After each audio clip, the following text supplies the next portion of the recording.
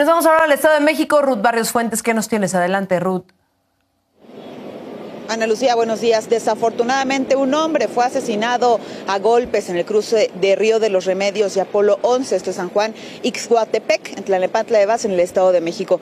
Los vecinos reportaron que el hombre estaba tendido sobre el pavimento. Desafortunadamente llegaron los policías y corroboraron que ya no tenía signos vitales.